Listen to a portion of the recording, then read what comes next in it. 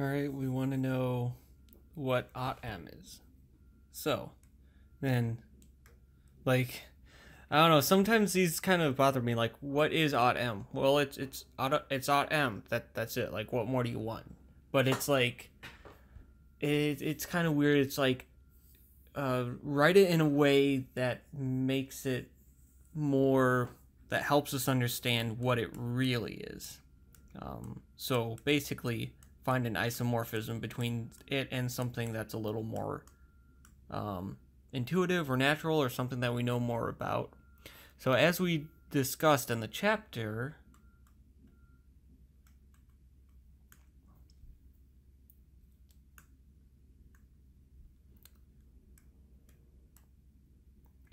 we have an isomorphism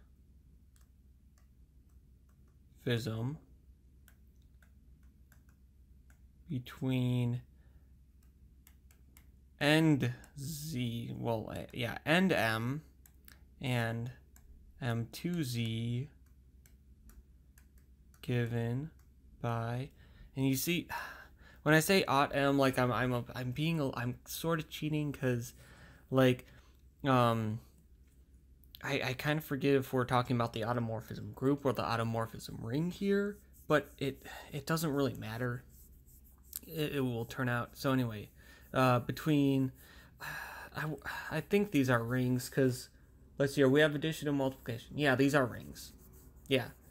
So the endomorphism ring and M2Z given by, or rather,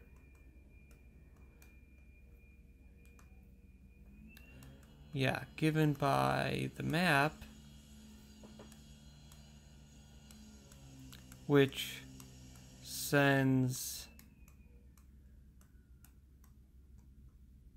the endomorphism eta, which is determined by eta 1 equals AB, and so the endomorphism eta, which is determined by um, what values it takes at 1, 0 and at 0, 1,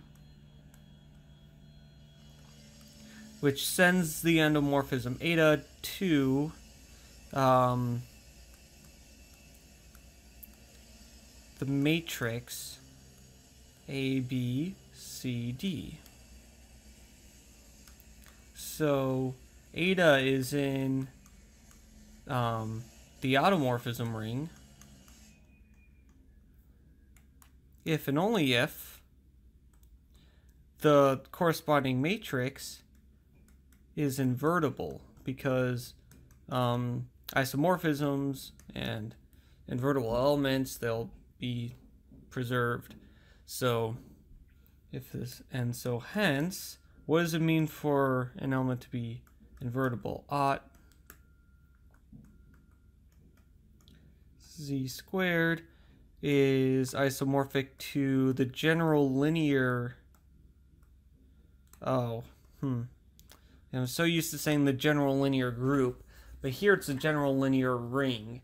Um, and this is just the ring of, yeah, it, it's just a typical. It's it's the ring of uh, matrices, uh, two two by two matrices of determinant not determinant non-zero and it's it's pretty obvious that it should be a ring, even though we typically refer to it as a group, um, because multiplication. Well, we know that um, uh, um, multiplication uh, de- determinants, like the determinant. Here, I'll just write it down instead of trying to say it.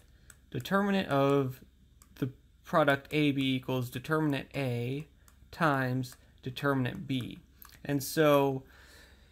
Um, basically the only thing that's not obvious here or not that's not completely obvious is closure under multiplication of uh, the general linear ring. Um, so if you multiply two matrices of determinant non-zero will the resulting matrix have determinant non-zero? Uh, but this formula tells us that um, because we know that the determinant is an integer and the integer is a domain. So if you have two elements of GL2Z, then I call them A and B, then uh, their determinants are non-zero. So you multiply these determinants together, you get a non-zero value, but that's also going to be the, de the determinant of the product of the matrices. So there you go.